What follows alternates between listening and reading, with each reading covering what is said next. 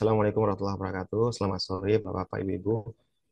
Eh, perkenalkan saya Dodi Naftali. Saya tadi sudah sampaikan oleh Bu Des bahwa saya bertugas di Rumah Sakit Umum Pusat Dr. Sarjito di bagian IT-nya lah. Kok saya uh, dari tim IT. Jadi kemarin itu saya biasa sih bicaranya tentang apa ya teknis aplikasi ya. Cuman kali ini agak beda nih. Saya bicara tentang uh, bagaimana tata kelola IT di rumah sakit kami. Ini saya membuat beberapa outline yang mungkin nanti akan saya sampaikan. Uh, semoga ini cukup 20 menit. Nanti saya akan bicara tentang profil kami rumah sakit Sajito, kemudian tentang tim kami, sistem informasi rumah sakit di sini rumah sakit Sajito, SOTK-nya, tugas pokoknya, kemudian visi dan misi kami, juga tanggung jawab pelayanan yang harus kami siap kesediakan kepada rumah sakit. Juga nanti saya akan sharing uh, bagaimana komposisi SDM di tempat kami dan uh, bagaimana kami melakukan pengembangan SIMRS di sini. Jadi Rumah Sakit Sajito itu adalah salah satu UPT Kementerian Kesehatan Republik Indonesia jadi kami rumah sakit vertikal, satu-satunya di Jogja ya, dari 38 atau 37 rumah sakit vertikal itu uh, kami yang di Jogja. Dan kami adalah rumah sakit kelas A pendidikan, juga sebagai rumah sakit rujukan nasional. Selain itu juga kami adalah rumah sakit pendidikan utama bagi FKMK UGM. Dan Bapak Ibu bisa mengunjungi official website kami di Sarjito ID. Sebenarnya nanti di sana juga banyak informasi tentang rumah sakit Sarjito yang bisa dilihat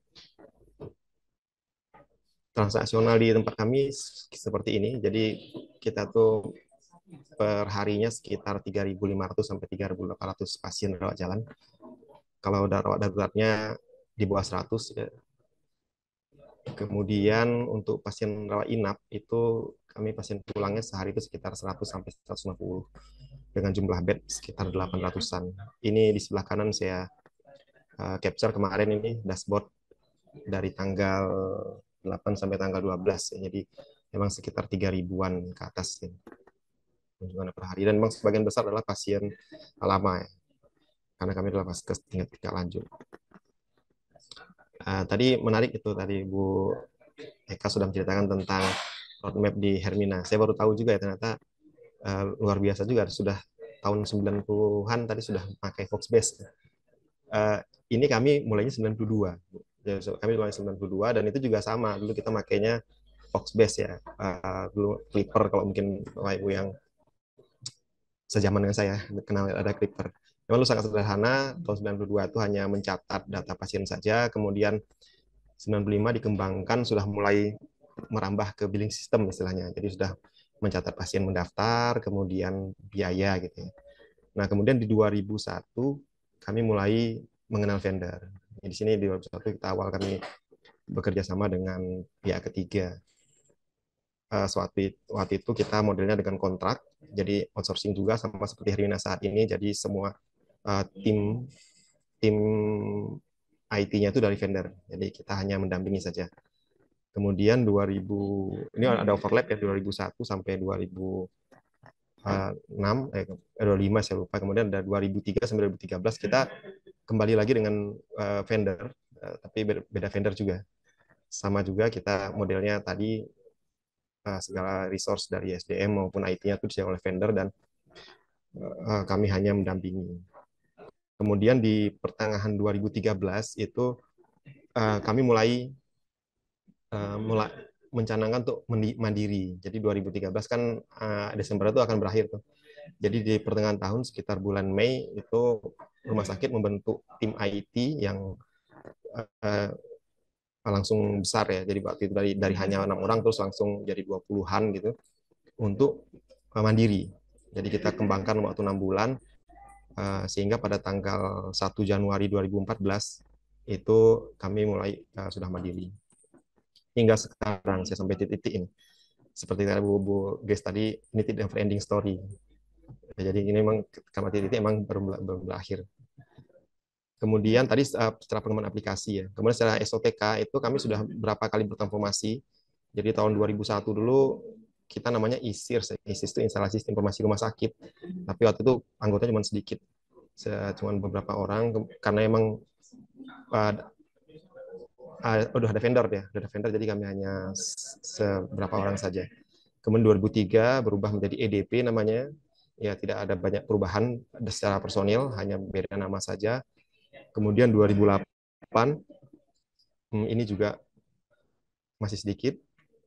Di 2014 baru eh, 2013 ya. Jadi waktu kami masih UTI di tahun 2013 itu tadi saya sampaikan kita merekrut banyak tim dari hanya enam orang menjadi sekitar 20-an.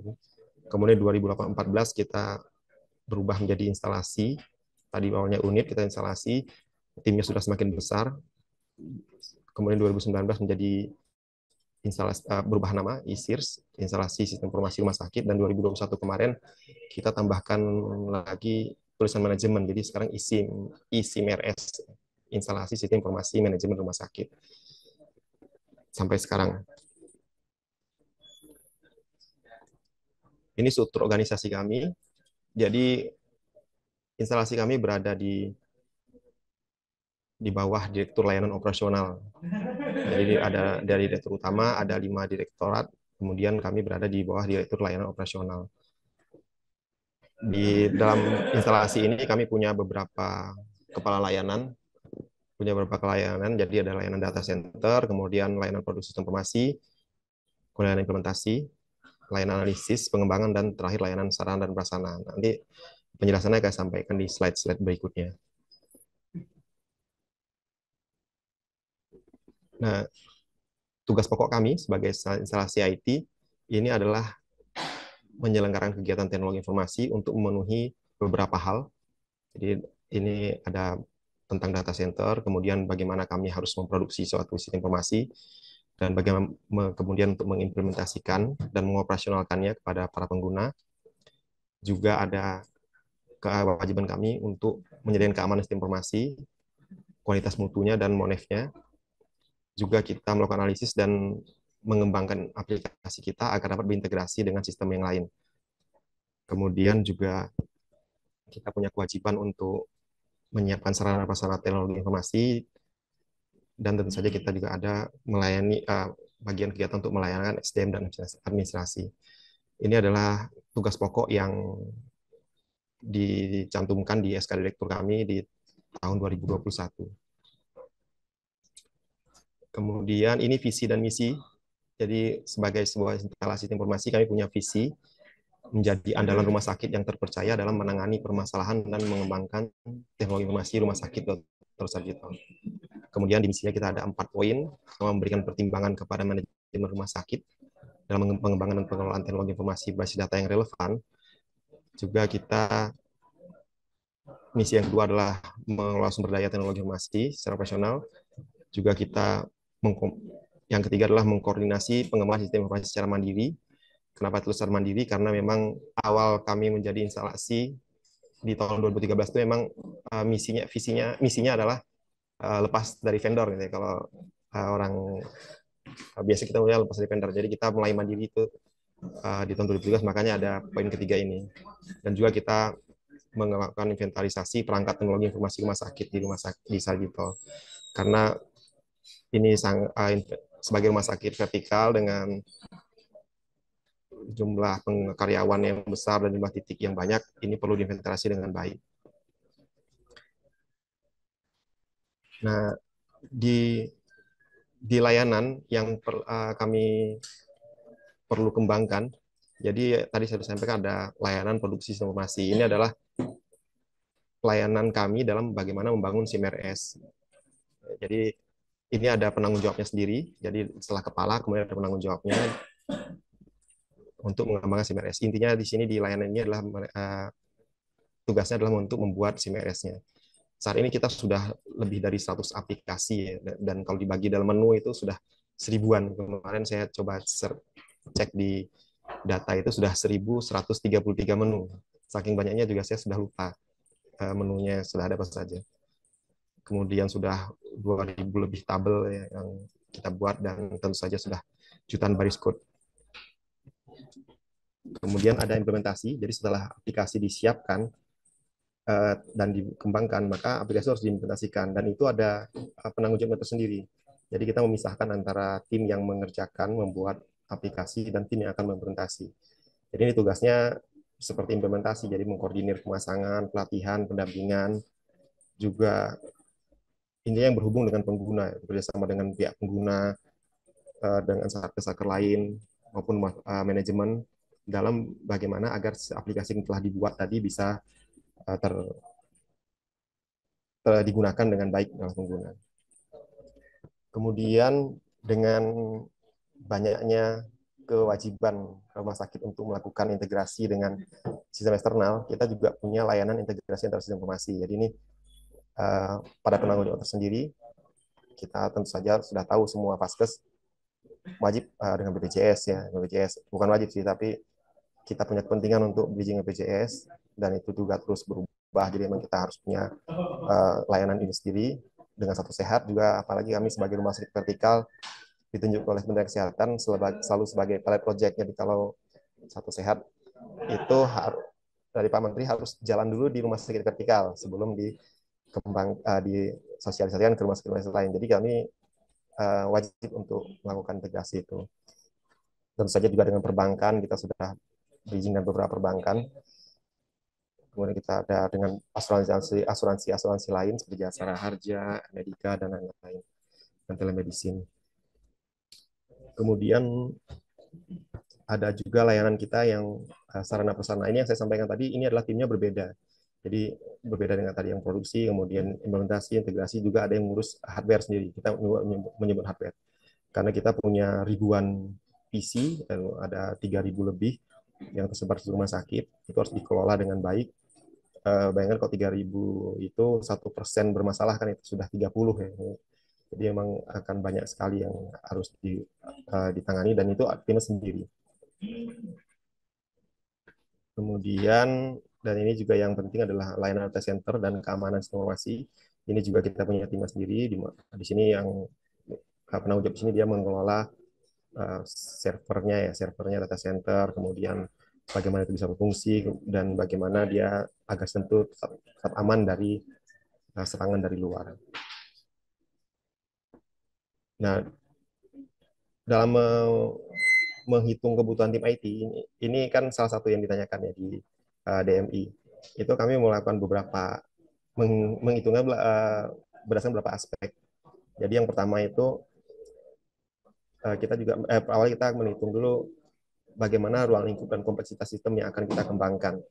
Jadi pada waktu kami 2013 merekrut sekian orang, itu dasarnya karena memang ruang lingkupnya dan kompleksitas sistem adalah seperti itu. Kemudian tahun berikutnya kami menambah dan lain-lain itu kita tentukan berdasarkan ruang lingkup pekerjaan yang akan kita lakukan. Kemudian yang kedua adalah spesialisasi dan peran. Nah ini yang mungkin perlu di apa dipahami juga ya dengan uh, saya mungkin ya yakin ya kalau yang hadir sekarang ini sudah paham bahwa IT itu uh, dia spesifik ya. Ada beberapa manajemen ya di rumah sakit yang lain yang tidak paham pikirannya kalau IT itu pasti semua bisa. Jadi uh, satu orang harus bisa semuanya. Nah, itu akan memberatkan bagi personil dan juga akan tidak optimal. Jadi makanya kita perlu juga mempertimbangkan kebutuhan tim IT berdasarkan perannya. Kalau memang ada kebutuhan hard, uh, tim hardware, maka harus ada tim hardware-nya. Ada kebutuhan programmer, ada kebutuhan uh, administrasi data, sistem analis itu adalah orang yang berbeda. Jadi kita tidak bisa menetapkan seseorang untuk bisa semua. Kemudian juga perlu mempertimbangkan volume transaksi, infrastruktur, pengguna, dan standar kinerja yang diinginkan. Karena memang semakin banyak infrastruktur yang tersedia, semakin banyak penggunanya, semakin tinggi volumenya itu akan mempengaruhi kebutuhan tim IT di rumah sakit kita. Dan tentu saja ini harus mempertimbangkan anggaran sumber daya finansial karena setiap peran biasanya ya itu eh, gajinya berbeda, kemudian semakin banyak tentu saja akan semakin eh, membebani finansial rumah sakit. Semakin senior, ya, jadi semakin dia senior, semakin kompetensi semakin tinggi, itu juga akan berbanding dengan uh, biaya yang harus dikeluarkan oleh rumah sakit. Kemudian juga untuk menghitung tim IT kita perlu melihat, menghitung kualitas dan waktu.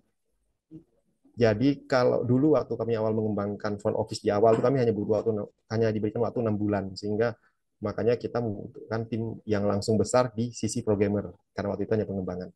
Tapi begitu sistemnya sudah jalan, kita menambah lagi 50 tim, 50 orang itu untuk implementator.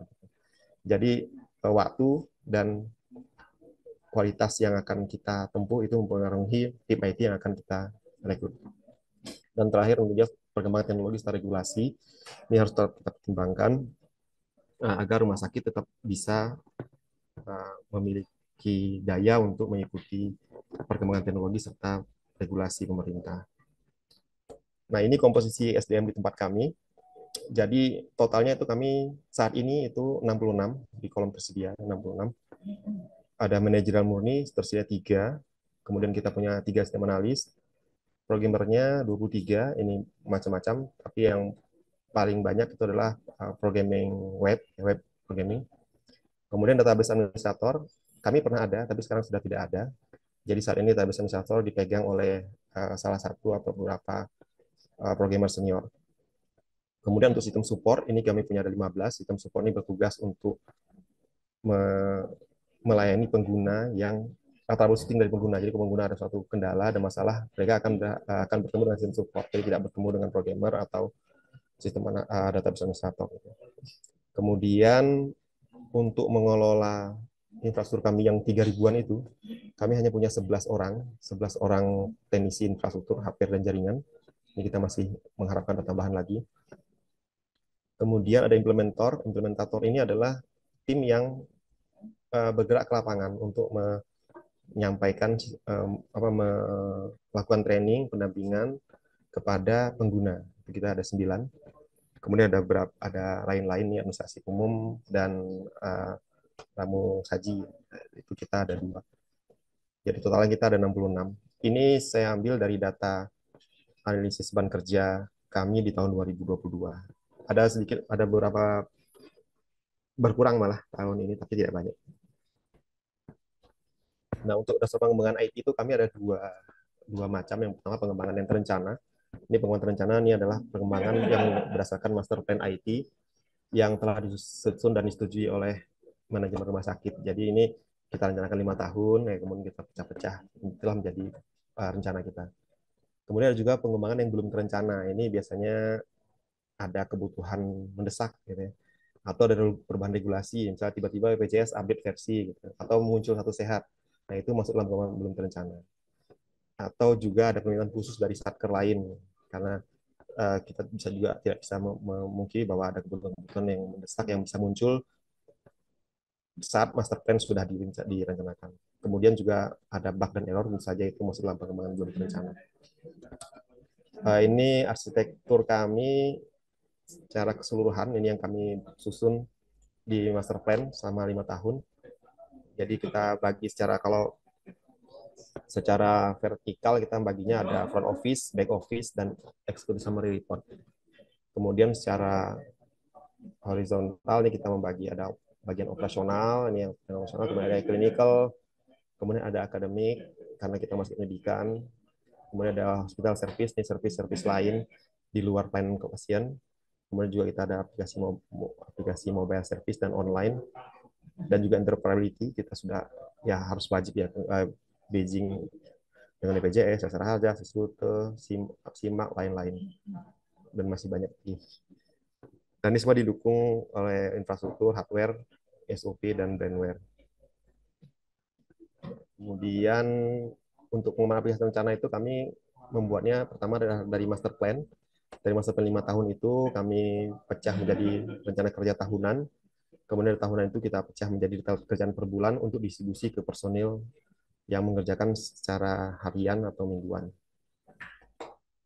Kemudian untuk alur permintaan permintaan dari Satker, ini maksud Satker adalah ya, unit lain di layar IT, itu kami menyusun SOP ya, SOP yang kita susun, jadi tidak langsung setiap permintaan itu kita akan kerjakan. Jadi dari pengguna itu dia usulannya masukkan dulu ke uh, direktur kami, direktur layanan operasional. Nanti dari berupa dokumen ada dokumen elektronik berupa yang kita yang dibuat. Nanti di, akan dipelajari oleh sistem analis. Jika memang ini perlu dikembangkan, maka kita nanti akan uh, melanjutkan. Tapi kalau tidak, kita akan kembalikan ke pengguna. Jika belum dikembangkan, kita akan sampaikan dulu kepada direktur lain operasional untuk menerapkan kebutuhan dan prioritas. Karena bisa saja ada uh, kegiatan lain yang memang perlu dilakukan atau yang sedang mendesak. Ini nanti uh, dari direktur layanan operasional yang akan menentukan apakah ini akan lanjut dikembangkan atau tidak, atau ditolak atau ditunda. Gitu. Nanti kalau misalnya lanjut, lanjut oh nih disposisi lanjut dikembangkan, nanti dari sistem analis itu melakukan desain aplikasi beserta kebutuhannya, baik software, hardware, SDM-nya butuhnya apa, itu disusun, kemudian desainnya diserahkan kepada programmer uh, untuk dikembangkan. Setelah dikembangkan, oleh programmer, kemudian kita ada uji coba aplikasi oleh tester internal. Jadi di tim development kami itu ada juga tim yang melakukan tester yang sebelum aplikasi ini launching ke pengguna. Ini sebenarnya bolak-balik ya, jadi ada temuan akan dikembangkan lagi terus. Ya. Kemudian kalau sudah lewat tester, maka akan dicoba oleh pengguna, baru dicoba oleh uh, user di lapangan. Kalau memang sudah sesuai dan memang layak diadakan, maka uh, analisis kita yang untuk pengadaan infrastruktur, SOP, pelatihan dan lain-lain itu diadakan. Jadi jika butuh hardware mulai dibeli hardware, jika pelatihan untuk kapan, susun, show, serta dan lain. Dan jika sudah oke, okay, maka akan diupdate ke production. Gitu alurnya. Oke, okay. itu yang terakhir tadi dari saya karena waktu juga sudah selesai. Itu bagaimana kami melakukan tata kelola di rumah sakit uh, tersebut. Kemudian saya kembalikan ke Ibu guys.